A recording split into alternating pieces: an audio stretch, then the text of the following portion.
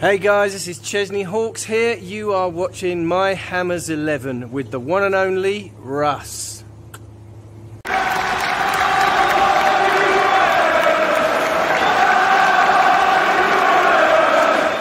Chesney's back. So that can mean one thing, Mr. Baker. One, one thing. yes, mine's 11. Uh, well, it's not mine's 11 for on the West Ham Network. Hope you're safe and well. Um, today we have got a, a very, very special guest. he's one of my 11 he's one of your 11 as well anton and set, and a lot of people in a certain in, in a generation it's in their my hammers 11 um, and uh, we've been very fortunate enough i think i think this person is my fifth of my Hammers 11 I've had on the channel, of my own personal one. So a, a player that also made a massive impact at West Ham as well. Huge, huge, huge impact. impact. Huge impact. And uh, we'll, we'll, uh, we'll do a little intro and then we'll bring him in.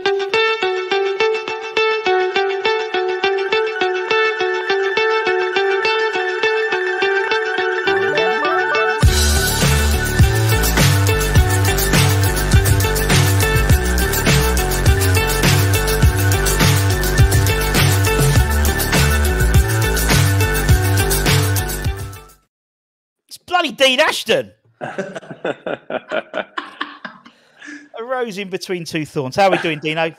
Great. Yeah. Thanks for that intro. Very nice. 19 yeah. goals. That seems poor, though, doesn't it? 19. Yeah, but they were all worldies, mate. They were quality. you, know, you can probably remember every single one of them. I can. That is true. That is true. They were all quite. Yeah, they were all quite. I mean, I mean, there was there was there was that one. That was quite a good goal. Um, that was all right that was all right. That was all right. we, could it, we could call it twenty with obviously the uh, the when you did it against Mark in Mark Noble's testimonial as well. So we can round it up. We can round it up. Uh, how are we, Dean? Are we well? Really good, thanks. Yeah, yeah, really good. Um, obviously, you know, working in the media at the moment, so getting to plenty of West Ham games actually, which is uh, which is always nice. Excellent. And obviously, on that note, obviously you're seeing a lot of West Ham at the moment. Um, what do you? What's your synopsis of the season so far?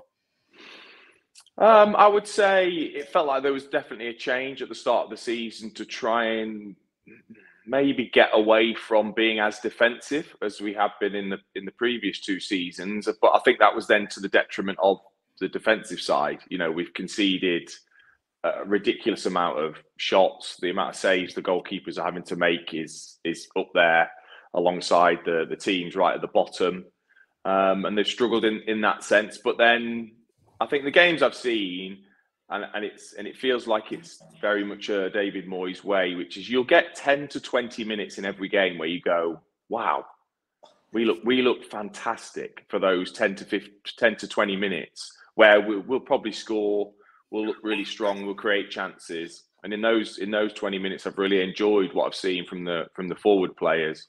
But then obviously a lot of the game is sitting back and, and looking to counter attack which at times can be can be a tough watch. Yeah, and obviously, can I, can I, can I ask you on the back of that then? When you watch the the difference between say West Ham and other teams just now, if you're playing in this current team, Dean, and you're getting an opportunity after opportunity to score goals, do you, as a player, look at the way that West Ham play for the full 90 minutes, or do you think of it's a results game and right now West Ham are seventh, we're in the quarterfinals of the Europa League, We've just won something last year. Like, what, what, what is it that, the, in your opinion, the player, from your experience, would, would go through with that? I'd hate it as a player. I would because I would I wouldn't be involved very much. Yeah. I would rely on sporadic breaks. I think as the as the, the forward player, you've got to be really patient and wait for those tiny opportunities. You've got to work hard on your own which was something I, I didn't particularly enjoy and didn't really thrive upon, which is why I think I, I didn't play as much under Curbishley as I, as I wanted to because he wanted to play that lone striker role and it's a very difficult role to play. Um, so I, I wouldn't have enjoyed it, but the results are there. You can't you can't hide the fact that we qualified for Europe. We've won a European trophy. We're up there at the the top half of the table, pushing for European places once again. You know, you can't you can't you can't hide those facts. They're there. But so so but the fact that there's so many there's there's such a split in terms of um, the fan base is because when you go week in week out, you you do watch the opposition have probably 60 to 65% of the possession for most of the game. So so that isn't easy that isn't easy to watch. It's not easy to probably play in as a forward. But we've got such good forward players. When we get it right, we we look fantastic. Yeah. Yeah, totally. And obviously on that basis, we we play we play Newcastle at the end of this international break. Um, I think as as West Ham fans, we've we've never liked the international break since since you were involved. In all honesty, I hate the internationals. um, but Newcastle, massive game, obviously for this fight for European places. Newcastle themselves, they've got obviously a lot of injuries. How do you think we'll get on again at St James's Park Saturday, twelve thirty kickoff? I mean, how do you think we're going to get on against them? I think both teams are in a similar position in terms of they're really pushing for a bit of consistency and um, and and looking to sort of keep pushing. Um, I'm actually up there as well for the game for radio, so I am I'm looking forward to it because the atmosphere is always pretty special up there. Um, but I think this is again the type of game that David Moyes won't be fearful of. He knows he can go there, sit back, defend, soak up the pressure from Newcastle, who are missing some of their forward players, they're maybe not as sharp as, as they have been at the top end of the pitch and know that as long as everybody's fit and comes through, that now he's got kind of a full complement to choose from um, in terms of that forward line. I would expect Antonio to start again, who's actually looked, I think, pretty good in the last two games and frees up the other players. So I expect it to be probably an attempt at a smash and grab. Dean, on, on, on, on, on Antonio, then, you know, I'm, I'm intrigued to hear what your kind of thoughts are on Antonio um, as, a, as a kind of, you know, not a natural born striker, but has grown into the role over the years and still now, years later in West Ham shirt, West Ham rely heavily on him um, leading the line again. You know, what's your kind of thoughts on, on Antonio? Um, I got a huge amount of respect for him because of the way he plays that role and I know how difficult that role is, and he's unapologetic in the way that he plays it in terms of the work that he's willing to put in in wide areas, which I'd want absolutely nothing to do with because I'd want to be in the box and I'd want to be in and around where it matters. And I think he's willing to do all that other stuff that other players don't want to do or or can't do it as well as he can and occupy two two centre backs. Um, is he technically the best player? No, but he's worked on it. He's, he's tried to improve. Is he going to score multiple goals? Is he going to get you off your, your seat and maybe score something spectacular? Probably not. But I tell you what, he's he plays that role so well. And I bet if you asked all the other players um, if they wanted him in the side, they would they would say yes, especially the other forward players because he does all that other unselfish work for other players to kind of get the glory. I think so. He's he's an important player, but it's amazing how many other players have come in, and he's embarrassed them because hmm. his work rate levels the others can't get to. The Scamacas um, of, of, of, who have come in, those type of players. Haller even came in and he embarrassed them because yeah. the work he put in, they weren't able to match it. Yeah, yeah, exactly. And and if I'm led to believe, Dino, you, you're putting the boots back on soon, or in, in May for the uh, DT38 um, charity match. Is that right? Is Dino coming yes. back on? yes, it is. It is. Yeah. Um, obviously, it's an amazing cause, of, of course. Um, yeah. And when Jimmy Walker gives you the yeah. nod, it's very, very difficult very difficult to refuse, Jimmy. Um, yes. So yeah, I, I, I, will be. I don't do it very often. I've got to admit, it's it's I've probably played five times since I've retired. Yeah. I think. Um, so it is it is pretty rare that I'll that I'll come out. But I'll I'll. I said to Jimmy, I said I can't run. Yeah. And he said it. He said he said same as always. So I was like, Did he mention he saved the penalty against Frank Lampard? I don't know if he did. Apparently he did. Oh, Apparently he did. I don't know, but apparently yeah. he's dined out on it for about oh, a whole career. Has not bought a drink in Essex since. Um, no. I guarantee. Right, let's let's talk about let's talk about the the old days. Um, we've done we've done the new stuff. Um, obviously, as we said, signed record signing at the time, seven million pounds from Norwich. I remember it very well. I remember you being. Uh, welcomed onto the pitch, um, and uh, I was I was very excited when you was when you was joined. How did that How did that How did that happen? Because it was sort of relatively out of the blue, really, in terms of the transfer, in terms of the fans knowing about it. Yeah, it was pretty out of the blue for me. I think I only knew um, a day or so before I actually before wow. I actually signed of, of the interest. Um, we Norwich actually played West Ham in the cup um, a couple of days before, and I didn't play. Which, no matter what I say, everyone thinks that I just threw one in, which I didn't.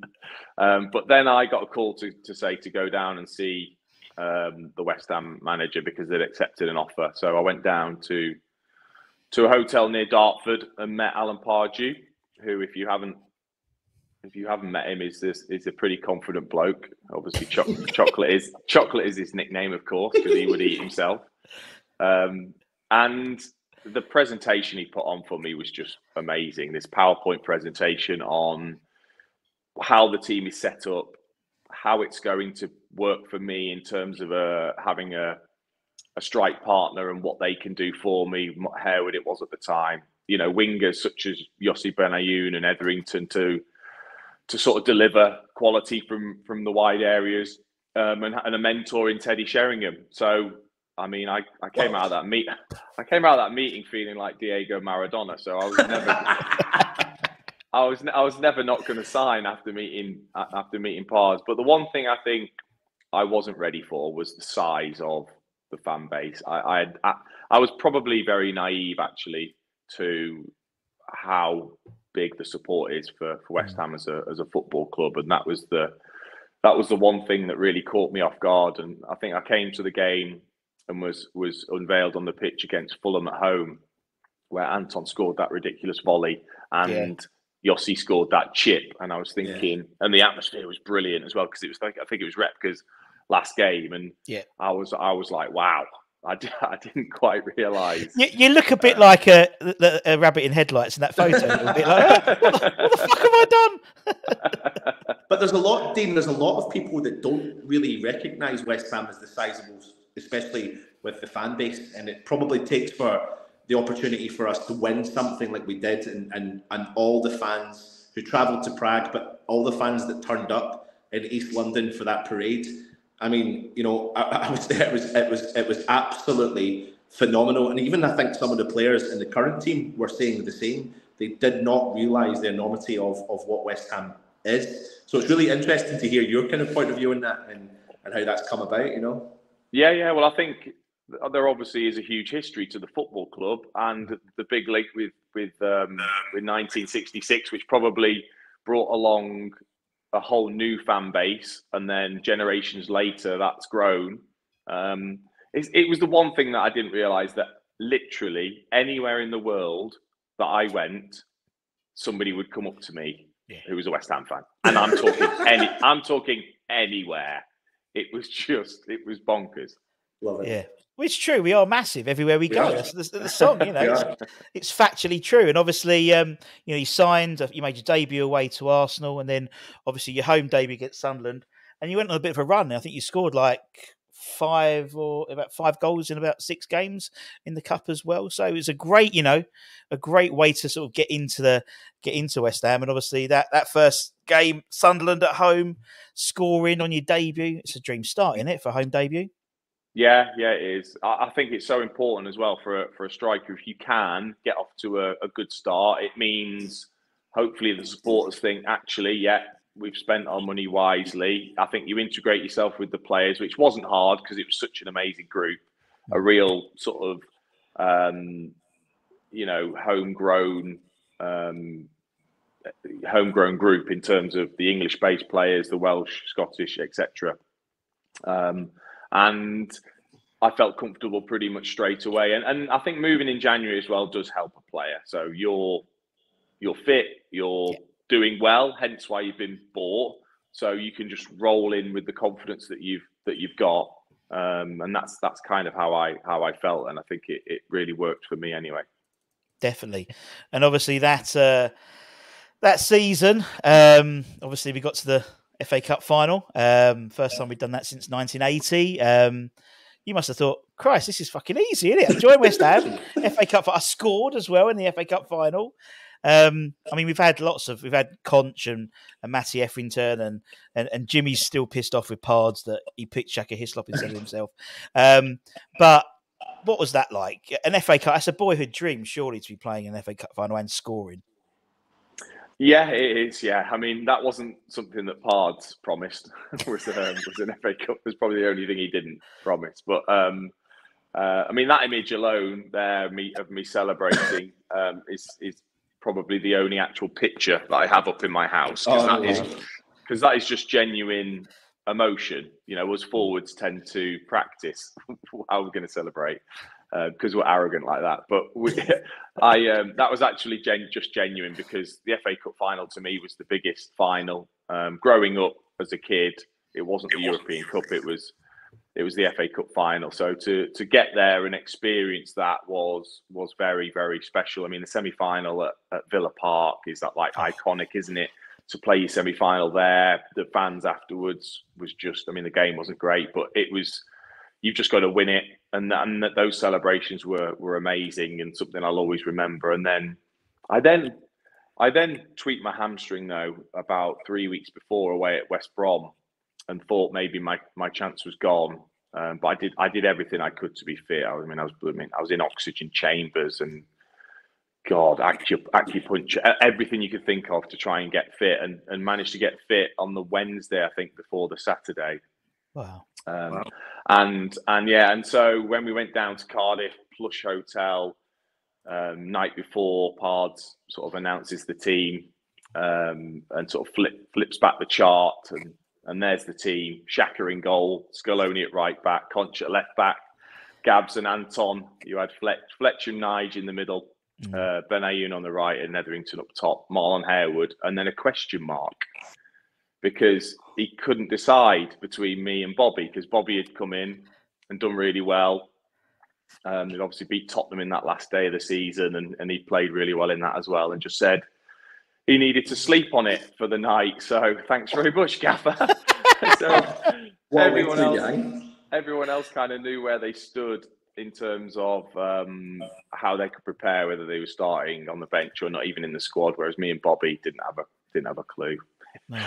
nothing. He oh, said, said said nothing at breakfast. Said nothing when we were doing the soups. Nothing when we first got to the ground. But eventually, obviously, for me to hear that, for me to hear that I was starting in in the biggest showpiece final I thought there there was uh, for West Ham against you know Liverpool as well yeah. was was was just was just incredible. So yeah, very very proud to to be able to play a part in a in an FA Cup final.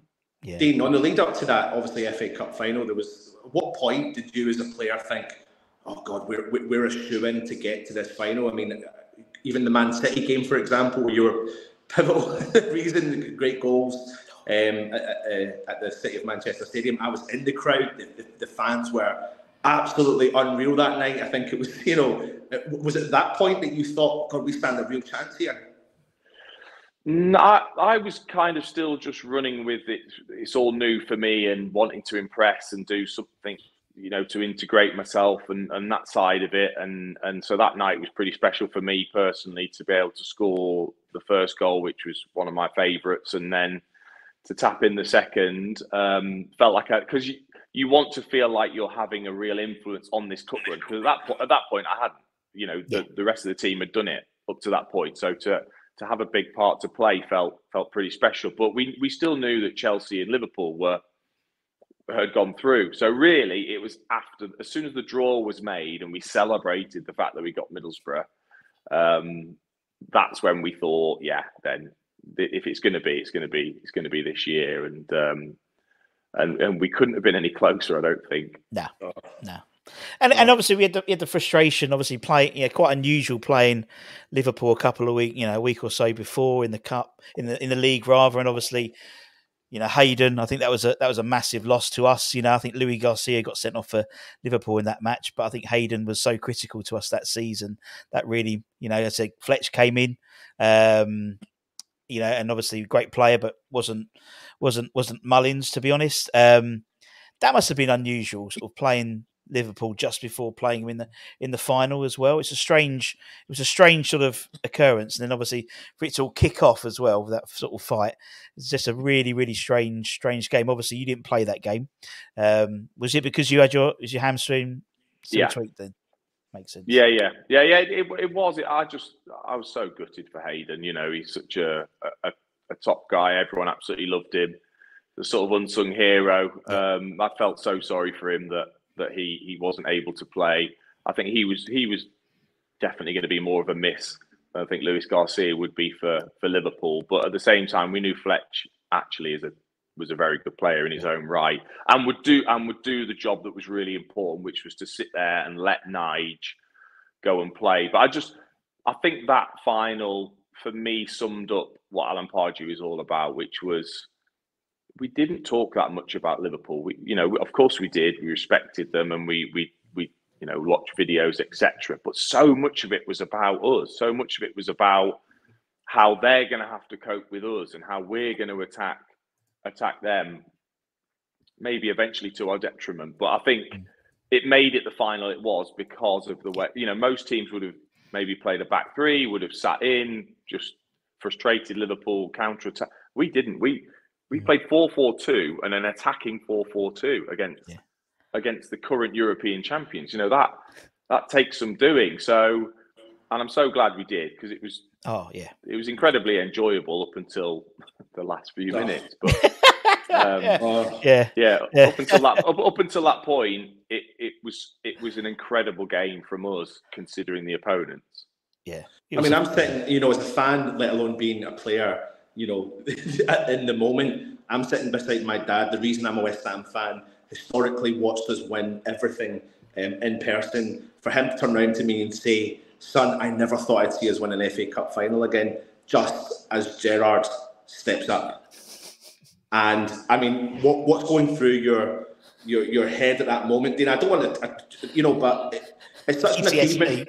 No, I know, and I don't want to bring up that kind of, but it's such an achievement for us as West Ham fans, and for you to be a pivotal part for creating some of the best memories I've ever had in my lifetime. But what's what's it like for you as a player playing in that in that game at that moment? I mean, it, it's but it's your dream, you know. And and I've always I've always watched finals, and I love watching finals where there's teams that are winning something for the first time because of the emotion you see from the players. Because you you dream of lifting the silverware, you dream of of you know as you walk past, kissing the trophy, getting to lift it, getting to walk around, all of that that comes with it, and the pride of we've done it you know, and you can you can put that aside and go like really behind me. It shouldn't just be the shirt and boots. It should be a, a replica of the of the yeah. trophy type of thing, you know, because then you can look back and go, we we actually achieved it and we we we were there. I mean, obviously, I frustratingly got taken off after 70 minutes or something like that, mm. which I wasn't happy about, but I thought we we were going to see the game out. So I was sat there on the bench. I think I put my tracksuit top on and it didn't look like they were going to score. It's not like they were peppering the goal. They had cramp. They they didn't really look like it looked like we were just going to comfortably see it out. So then for that to happen, you know, because it was right when the announcer announced the, the added time. Yeah. It, about two seconds later, Gerrard hit it in. And sometimes, look, because I'm a player, I can recognise how unbelievable that goal is. And sometimes yeah. you've just got to you've got to recognise somebody who's a bit of a freak and, and is capable of something like that in that moment and appreciate that that can happen. And it's just unfortunate it happened to us. Yeah.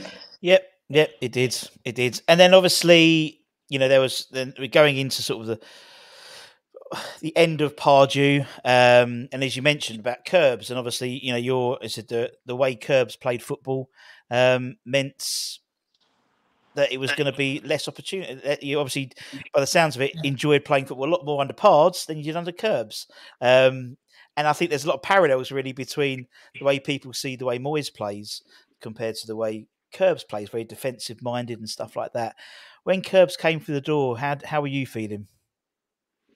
Um, I was gutted because obviously I was still injured and um, I'd had such a good relationship with Pardew. He was the one that mm. bought me, and I wasn't able to help him keep his job effectively. Yeah. Um, so to to then watch Curbs come in, I think uh, it, it wasn't the same because Curbs had his had his and he was very very diligent when it came to the defensive side and the the understanding as players of, of our roles and, and where you have to be when the ball is in a certain area, which is not something that Pardew was. Pardew was more about us attacking, and training reflected that. Training was for for a forward anyway, a lot more fun under Pardew mm.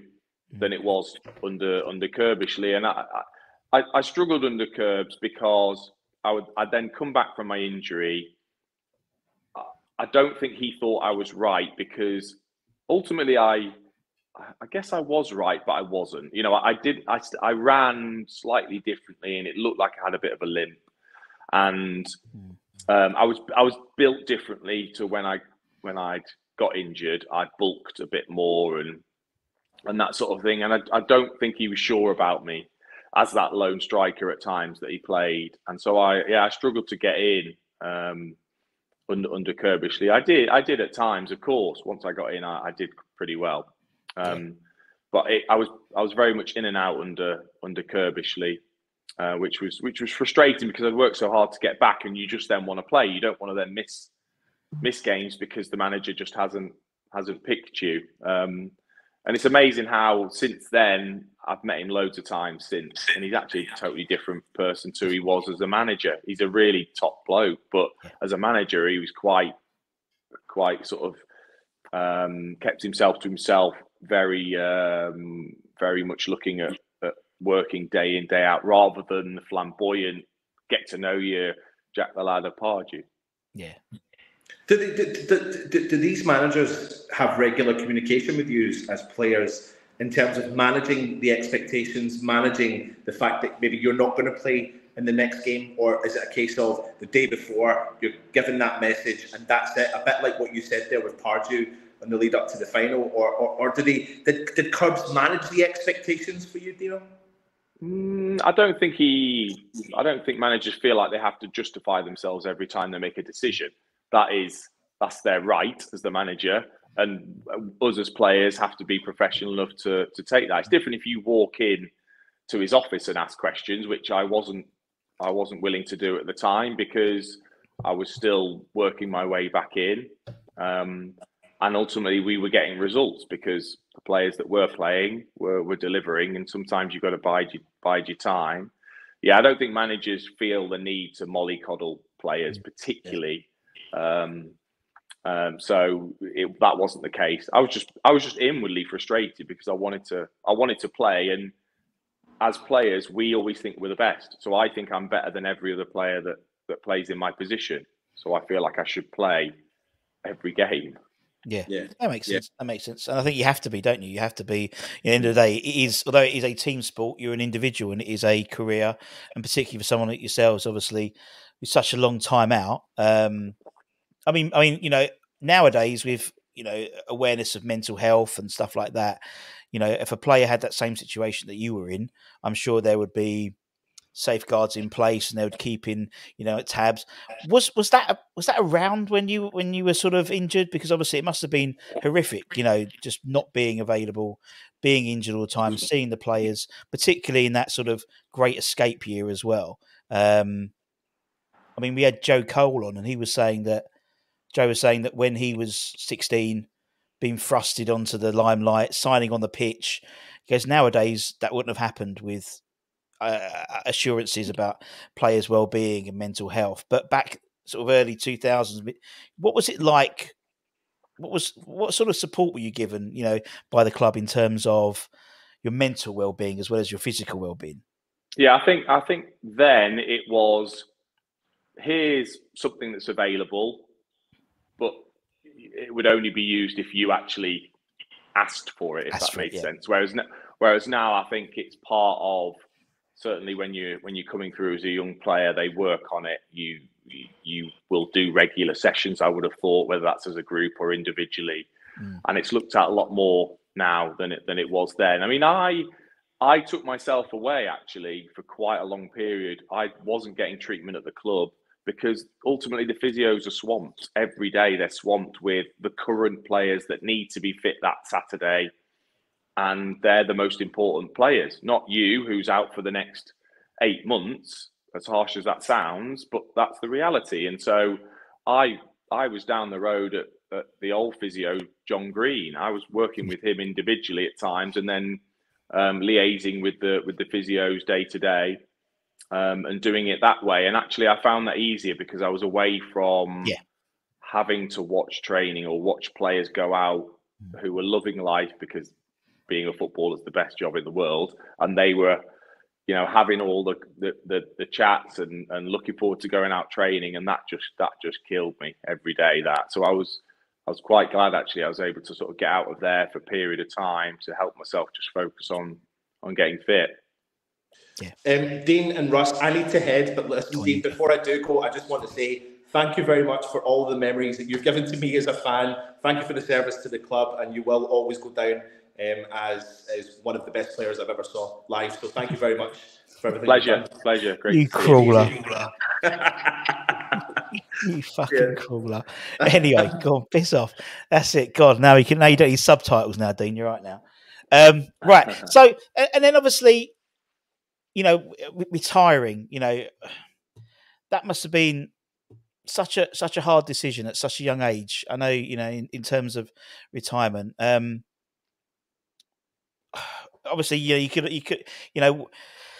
For, for me, I, I, you know, considering football was your life, and then to retire, it must have been sort of such a devastating blow, or you know, were you sort of did you head did you head in the game? You sort of knew it was going to happen, and it was sort of waiting I for the think inevitable. um, I think it's easy to forget how young you are. You know, Yeah. footballers are young anyway. It's a, it's a young it's a young job in terms of how young you have it for, and you if you retire if you do well and retire, you know, thirty two, you're still very very young. Mm. So you know, I was 24, 24 going into twenty five, and I couldn't get up out of bed and go downstairs straight away. It would Mm. take me 20 minutes to get the ankle into a position where I could get down the stairs and um, and start my day. I, I couldn't go to the supermarket and do the full shop. I'd have to stop halfway through and go and sit by the tills and wait for them to finish. Uh, it- you know, those sort of things. You think, I'm 25. That Yeah. that shouldn't be happening for a 25 year old. So if I can't do this, how am I ever going to be an elite athlete? Now, I did everything I could. I had multiple operations. I tried all the newest medical procedures you could have to try and to try and get fit. Um, and ultimately, when you're in that state, I was, but I I I would never wanted to say it myself. I never wanted to say I'm done because Mm. how how do you say that to yourself Yeah. when it's when it's everything you've ever dreamed of and you don't know what else to do. Um, so the the surgeon in Holland, he was the one that was pretty blunt for the first time and said, you know, if you want any sort of a life where you can walk, um, and I had young kids, Yeah. then you then you need to stop. And so it almost came as a bit of a relief to think, oh, thanks, because I don't know whether I can keep doing this. You know, I, Yeah, I don't know whether I can keep having operations and and not being able to wake up and just kind of get out of bed.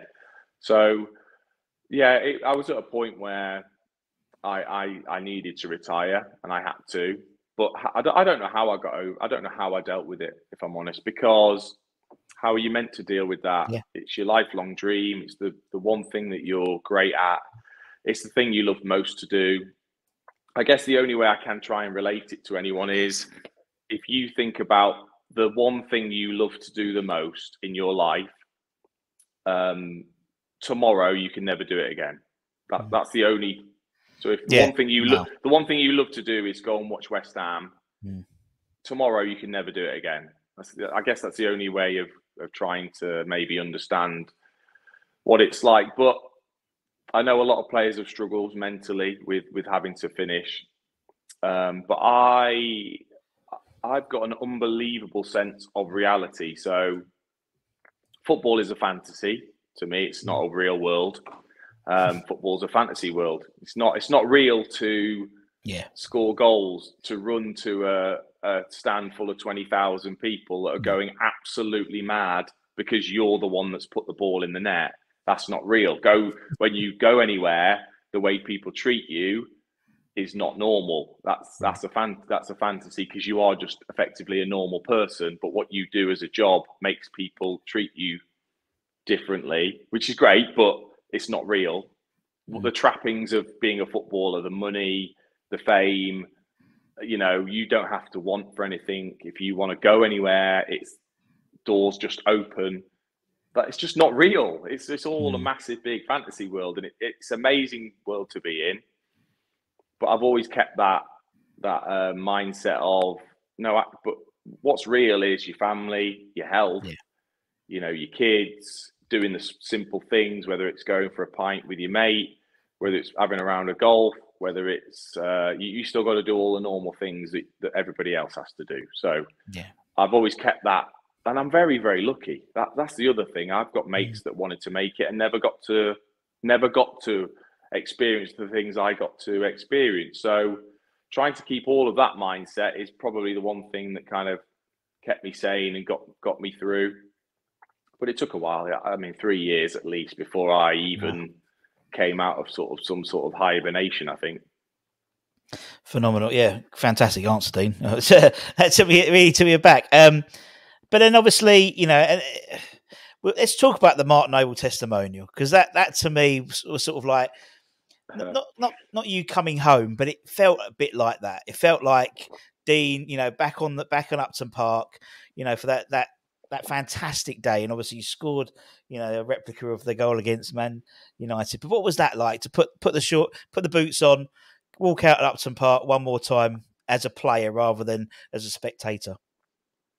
Um, well, I'll I'll I'll I'll be honest in terms of I was at Center Parcs the night before, and I'd we'd one? had a good. I think somewhere somewhere in Nottingham, I think it is. Um, so I'd had a good night with mates and stuff like that, and I'd been I'd hurt my back on that blooming tree climb thing that you have to do with your kids, and you know I'm like what four stone heavier than I was when I was playing, and and I said to the missus at night, I just said I could do without this, to be honest. I said, you know, my back's really sore. You know, I've had a drink. I'm going to put that shirt on. It'd be like a sausage skin on me. It'll just be horrible. These new shirts. Oh. Um, I said I'll be on the bench. You know, I'll go all the way down there. I'll be sat on the bench because you know Di Canio and Teddy Sheringham and Bellamy. They'll all they'll be playing, sort of thing. She went, "Nah, come on. It's it's you know the whole day is for Mark is is for Nobes." And and I I said, "You're right.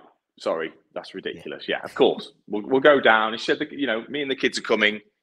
Um, so yeah, we got up. We headed down it was just it was just brilliant. I didn't expect it to be the, the, day that it was in terms of the whole stadium completely full, that sort of atmosphere, getting to see all the the the old players again, some of the new. But I was on the bench, obviously, um, and then when I came on, um, I remember the first thing the ball came across, and I'm about four yards out, and I just fell over, hit me in the stomach and and went into the keeper's hands. And I thought, Uh-oh, I thought that's that's why that's why I didn't want to turn up because I can't move. And this is on this is actually being shown on telly, you know, this sort of thing. But then ball went down the right to Teddy. He pulled it back to Bish, um, and then when it came across, it's like a flinch. You know, there's no reason I should be doing that when I was, you know, when I had to retire and I'm three stone overweight. But it's just an instinct to do it.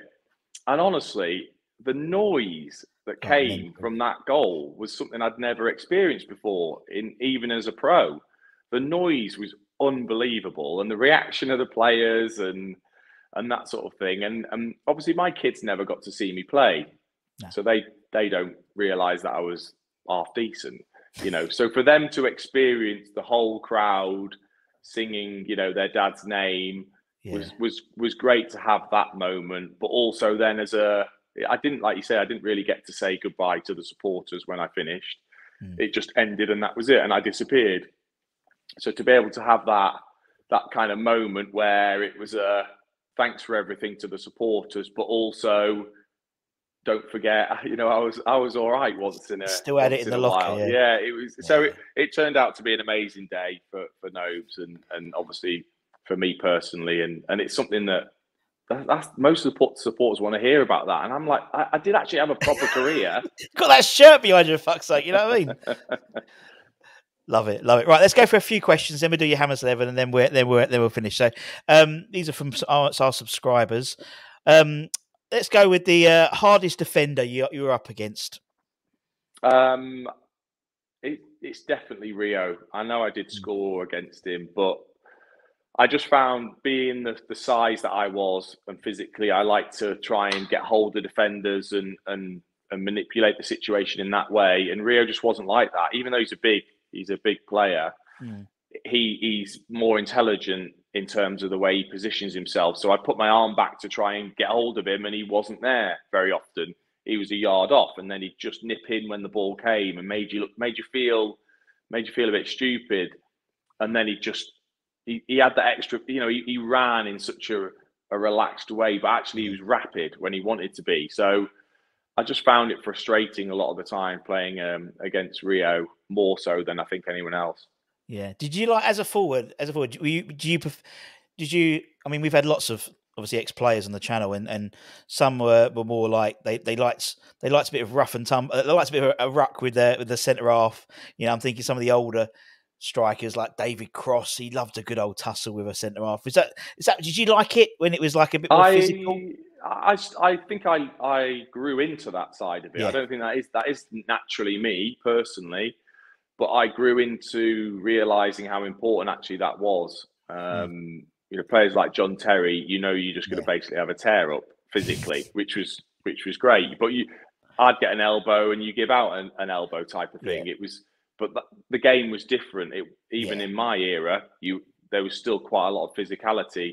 Mm. You know, goalkeepers used to take goal kicks and used to go yeah. go up for head go up for headers from that regularly. So there was a lot of that side of it. Um, I did learn to use my sort of size and physicality yeah. to my advantage towards the end. But it it was not like Crossy's era. I know that. No, no, sure. no, exactly. Yeah, yeah. And, and actually, goalkeepers did take goal kicks rather than these stupid fucking side passes to the defense. Oh, winds me yeah. up. Yeah, yeah, yeah. Yeah, winds me up. We all think we've got Ederson in goal. Um, Ruby Tuesday, one of one of my favourite all-time players from Ruby Tuesday, both at Norwich and West Ham. Um, what do you uh, what's what do you think of the changes that have been brought about since retirement? VAR, come on, everyone's got to ask about it. VAR, what are your thoughts about VAR, Dino? Um, it's it's a killer for the game in terms of taking. I think the the joy out of it, certainly for from a forwards perspective, I think I'd have had goals chalked off because I wasn't the quickest. I relied probably on stealing a couple of yards yeah. from, from defenders. Um, you know, I can't imagine now being a player scoring a goal and thinking, I'm not sure if I can celebrate because I think maybe I was offside. So they're not not celebrating. I oh I just and the, and the supporters as well to to have the high of, of, of, a goal going in and then it being taken away and the uncertainty of when you're in the stadium not having a clue what it's for yeah i think there's a long way for that to go for it to be enjoyable um, so i'm pretty glad i wasn't i wasn't part of this era yeah, I think the I think women. I think it seems like the WSL at the moment, the women's league, is is is getting that issue as well, where it comes to a tipping point where I think VAR will coming into play there soon because we had a goal chalked off yeah. the other day for yeah, yeah. which should have been. Um, what we got here, uh, Mark. Um, well, I think we've answered your question already. How do you think you'd fit in the current team? The current impacts of current style. You wouldn't like it, would you? in all honesty, um, yeah, I, I, I, I, genuinely think I'd have struggled um, in this era because of playing a lone lone striker role. Mm. I mean, I think I could have been more of a Kane than I would yeah. be um, an Antonio, of course, because I'm that's more of the way I'd, I'd, I'd have played. Um, but it, it, would have depended on what the manager wanted. If the one, if the manager wanted somebody that could run the channels and come short and get in the box physically, I was pretty pathetic. so, so um, I might have struggled. But if it was more technical side, then I think I might have been okay. Definitely, definitely. Uh, from Surreal, um, what if you was in charge of the Hammers? Um, uh, how would you change? Would you cha- change tactics? Of course, I think you probably would change tactics, wouldn't you? To be honest, if you're in charge All of the Hammers I, now. yeah, all I think is in that 10, 20 minute periods that we have, we are capable of being higher up the pitch and work rate isn't an issue with the Mm. players because they're probably one of the fittest teams in the league, I, I would always say. Because Yep. Out of possession, they have to do so much work. Mm. Why can't that out of possession be higher up the pitch? So I, Yep. that's what I would like to see is just them be up higher up the pitch doing that work. But I guess if you were to do that, you'd have to make sure you had the pace, I guess, at the back for if teams counter counter attack against you. But that's that's the main thing for me. Is I think the the team are capable of it. It's just I want to see it higher up the pitch. Agreed. And what I love about you, Dean, is you always say we. I love that. I love that, and, it, and, and, and it's lovely to see. Yeah, we do this, we do that. Um, from Danny, um, who would you prefer, Luke playing with Lucas Paqueta or Yoshi Benayoun? Oh, that's Ooh. harsh. Danny, what are you doing to poor Dean? Um, I'd have to Who provide- Yossi. who I'd have, provide- I'd have to say. I'd have to say Yossi. I mean, Yossi was. un- I think. Pro- I don't know whether he is underappreciated by West Ham fans, but what a player he was. Yeah. By the way, um, I think he was physically weak though. That's the only issue Yossi had. Yeah. He was. He wasn't weak mentally. He wanted to get and get stuck in, but he was Harry, so yeah, yeah, yeah. That's he was heard, yeah. so sort of scrawny that he just, you know, he'd get he'd get bullied. Quite, whereas Paqueta's different. He can Yeah. stick his arse in, get hold of it, manipulate the ball. Um, but I wouldn't go against Yossi. Yossi Nah. was the Yossi Look- was the man. Last question from J- from Jan. Best game, best game playing for West Ham. What's your best game? I would probably say, I would probably say Man City away. I think as a as an all round performance. I think I had moments in other games where I was where I was very good, but um, Manchester Manchester City away was was probably the most complete performance I'd had in the West Ham shirt in terms of leading the line, the goals I scored um, in a in such a big game as well, importance wise. So yeah, I think Man City away. Yeah, sounds great. I'd, I'd agree. I would agree. Right. Okay. So everyone we had on the channel, apart from uh, Harry, Bish, and Nigel Reo-Coker randomly, every person we've had on the channel has given their Hammers 11. So the idea is you put an 11 together of the players you played with during your time at West Ham. Um, and you can pick whoever you want. You know, people you enjoyed playing with, people you thought were best in that position. You can put yourself in to get your appearances back up. It's no problem at all. We've had that as well. Um, try and play 4 4 2 because I think that's, you know, I think that's where where you were best in the 4 4 2. So, in, in terms of in goal, who would be in goal for the Ashton 11? I think I'd go with Rob Green.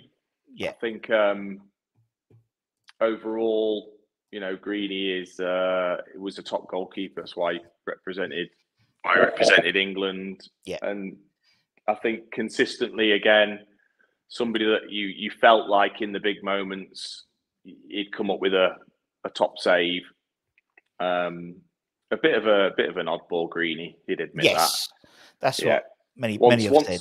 once seen in a nightclub with a with an anorak on over his head was was kind of sub, sub, about summed him up. Apparently, he used to sit at the front reading the Financial Times. That yes, was the that is That was the, yeah, that was the standard On- Rob Green on pose. his, on his sat on his own. Yeah, It's on his own. Listen. All right, we'll put Greeno in. Uh, let's go. Let's go left back. Who would be left back in Dino's eleven? Conch Conch would be. Yeah. You know, went on to have a great career and um, I think had a bit of everything. So had that defensive work, was super aggressive, but get forward, genuine quality. Like really great delivery from a from a, a forwards perspective. I think I felt like I could rely on his delivery to to come into the box. Um, other than when he missed me out and put it in the top bin in the cup final. Um, Well, yeah, it, was a goal. Apparently, he, he he meant it. No, he didn't. No, he didn't. He told yeah, me he didn't. I know he's full of it. yeah, good old conch. Um, right, put him on the left. Let's go. Let's go right back. Who would be right back? Lucas Neill, yeah, um, shout. terrific player, great captain, probably my favourite captain, I would say, at the, at the club. Um, fantastic um, social secretary as well, superb. um, and again, delivery. I think back to the Everton away game where yes. from deep he played that cross in for me to go and attack and and score, um, and just an all round pretty top bloke. Yeah, yeah, yeah, and obviously during and, and also and, and also sorry, and also was one of the big captains that would genuinely question the manager in front of everyone yes. and have that debate that was imp- that I think is important at that sort of level. He wasn't afraid to stir that up. Yeah, no, definitely, and I think that's what you need as a captain. I think, I think to be honest, the team now is missing that person. Yeah, I think we've had we've had some good captains. You know, we've had Nobes for so long. Yeah, Deck, who I thought was a good t- club uh, team captain, and I just don't think I don't get that with Zouma. No, I don't get that he's going to just pull up pull up mm. uh, Moisey on his team selection. Do you know that something no. like that? Just, just, don't get it, unfortunately. Um, right, centre half, first centre half then. Um, Anton. Yeah. Um, I think to have to kind of live in the shadow of his brother, I, I can't imagine what that must be like. Not only that, we all took the piss out of that fact every single day. Yes. Yeah. Um, so for him to still be the player that he was, and very underrated as well, because people were comparing him to Rio. Yeah. Um, I actually played England youth with him, under 21s, and then at West Ham, again, so many of the attributes I think you need as centre back, which is, you know, organisation, pace, great in the air, good on the ball. Um, I thought I thought he was very good, Anton. Yeah, yeah, yeah. Was it was it his nickname? Was it Tooth? It was like it was always like I can't remember. It was like Toofer or Threefer. It was always like whatever Rio did. Three weeks later, Anton did or something like that. It's like yeah. his hairstyles and stuff. Poor Anton, bless him. Um, who's going to partner? Who's going to partner midfield in their centre backs? Probably one of the best defenders I've ever seen in the flesh, which is Gabbidon. Yes. Um, again, you know, struggled with a back back problem all his career but man, what a defender! Mm. Honestly, stronger than stronger than he looked. Yeah, very much quicker than he looked. He was rapid, by the way. Such a nice bloke, considering you know what he was like as a as a defender, some of the tackles he'd put in, etc. Um, I watched him against Henry once, and Henry mm. struggled. He, yeah. you know, you, you see Henry burst past players. Gab's just unbeatable against Henry, and I was like, wow, you know what a what a player. And again, if it wasn't for the the back problem that he that he continued to have throughout his career, um, I think he's absolutely elite level centre back. Yeah, totally agree. Totally agree. One of those players I think you do is you know not forgotten about, but you know there's there's other play, like someone like you know I love Ginge and and Ginge and yeah, Ginge was, was, a, yeah, was a phenomenal player. Yeah, but that's the thing. Ginge, Ginge rarely played when I was there because yeah, of those did, two. Yeah. yeah. that was the thing. He was. He, I mean, it was they were bought at the same time, weren't they, from Cardiff as well as a pair? Yeah. Um, right, let's go. Let's go left wing. Who'll be on the left? Mike Etherington. Nice. was um, was terrific. Old style winger. None of this, you know, uh, Benrahma checkbacks. None oh. of those. Just just just genuine, tricky Proper. winger, gets it gets it on his left, whips it behind the defence. You know when you can run. Um, could drift inside. Actually, he was decent on his right foot. It's not like he was all all left foot. Um, discipline defensively as hmm. well. Great engine to get up and down. Not a lot not to like about about Matty Etherington, to be honest. Other than his other than his his poor choice of betting, then he was Other than that, he was yes. class. Yeah, and it's football can be such an easy game sometimes, can't it? If you put like a, a yeah. good left winger on the left wing, a good right wing on the right wing, someone like you up front, it's it's not it's not tricky, and just getting those balls into you, knocking them in, job done. Simple, simple. Um, who will go on the right then? It'd be Yossi. Yossi yeah. was a special special talent and i think having come through the first time i'd been in that type of environment at the top level hadn't seen players like yossi probably throughout mm. my career different type of player so creative so inventive Um, super confident. You know, used to tell the players, you know, that there isn't enough good English players, so that's why I'm having to come over here and teach you, and that sort of attitude. But again, I know that he could he could chop left and right and chop mm. um, a little bit, which could which could be frustrating. Um, but then he could come up with something pretty magical, mm. and you've got to have that in your team.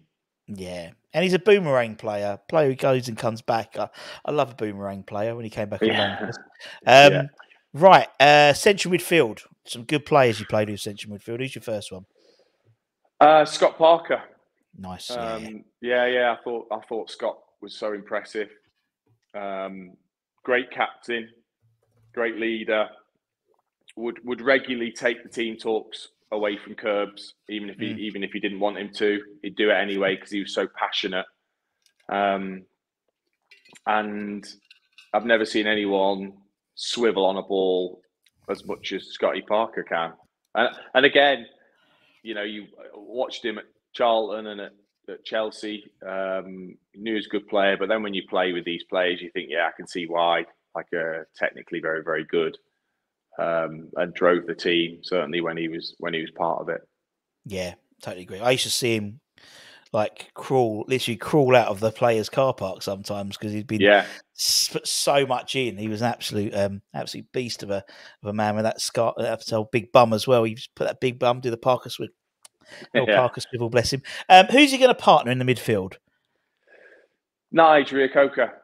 Nice. Um, I again, I think he is a player that's that's underrated. And now I actually think in this era, when you're looking for a player that's got the engine yeah. that the engine that he has, the ability to win the ball back, the ability to burst through midfield and take two or three players out of out of the game. Again, if you look, if you think of Man City away, they look like they're on a counter attack. He makes an unbelievable tackle Mm. Then jinks past two players, gives it to Yossi, and then Yossi to me. That was him. That was that was yeah. him that did that that side of the game. Um, unbelievably young to be a captain. Yeah, yes, was one of the shot. best. Was one of the best I played under captaincy wise. And again, a player that maybe didn't get the the plaudits he, he deserved for the work that he did. Whereas now, you know, now players are being bought for a hundred million that that are doing the things it's a great show. Nigel, yeah. That Nigel was doing. You know, he, he could do everything that Caicedo could do. He could. Mm. Yeah. No, totally agree. Totally agree. And I think a lot of these players are. Yeah, I mean, there's someone like yeah, someone like Yoshi in in today's game as well, where it's more technical. You know, where he wasn't. Boy, he was maybe sort of physically dominated sometimes. You know, in today's game, he would have been a superstar, absolute superstar. Um, yeah. Right up front, who are you going with? Um, Marlon Harewood to start with. Um, uh, I, I, watched him a lot when he was at Forest um, because you know we were in the same leagues for, for a period yeah. of time, and he, what the centre backs used to say playing against him for us, used to dread playing against him because of you know those.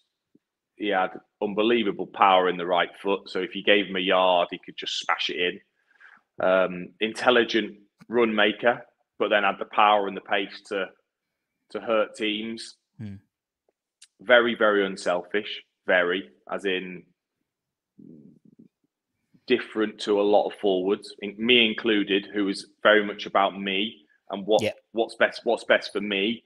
I want to score. You know that I, I'm like that, and I think a lot of forwards. He wasn't as much about that. I think he was more unselfish than many strikers I've ever played with um, and scored scored big goals. You know, semi final yeah. goal was was gigantic for the club. Yeah, we used to. Where, where I was when I was doing the, the, the, music, I was so at the old ground. I was obviously under the, the scoreboard, and we used to call that little corner there between the uh, Bobby Moore and wherever where the gambling company had, had purchased the rights to the West End that month. Um, I used to call it Harewood Corner because you always used to jog the, jog the ball into the corner and then do a little trick and then run along the byline literally every time, every time. And obviously, your your era was sort of part of the patch era. I used to call them, where they used to a, betting company would go under, or, or a, you know a holiday company would go under, and they'd have to put a patch on and stick a new logo on.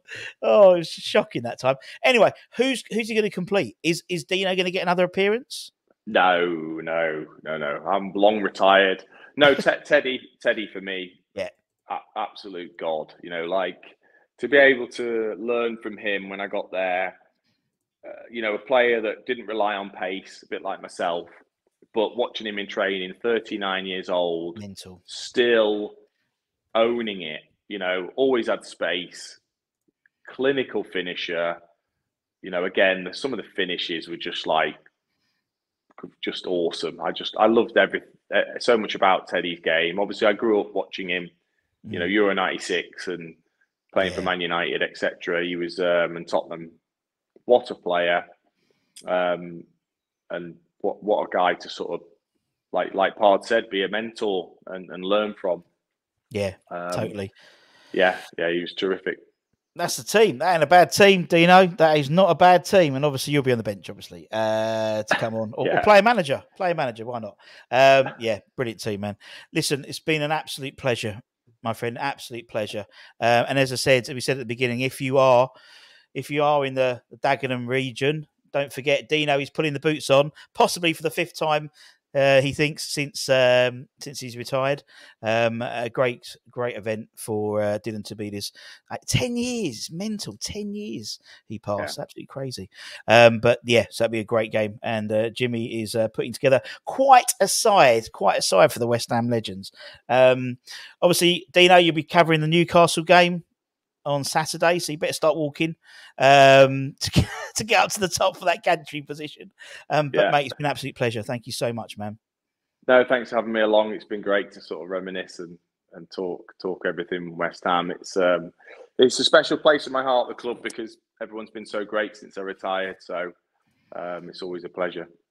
Brilliant. Thank you. And thank you to everyone watching. Don't forget to like, comment, share, subscribe, all that stuff. And for me and for Mr. Dean Ashton, Take care, stay safe, stay warm. Come on, you irons. See you soon. Bye bye.